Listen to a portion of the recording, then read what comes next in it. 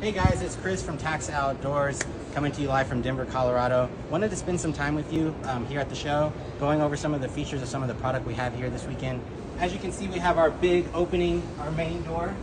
Once we step inside, we have some great features that we can take a look at. You'll have the bunk system right here on the left side, right when you walk in. As you can see, it does have the netting for protection. You can break this down. This also acts as a couch area it's not in a bunk system. Right behind me, we have our bathroom system.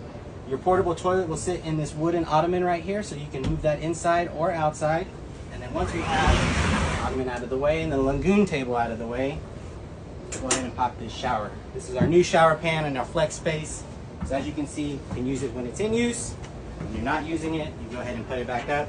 More flexibility in your space right here.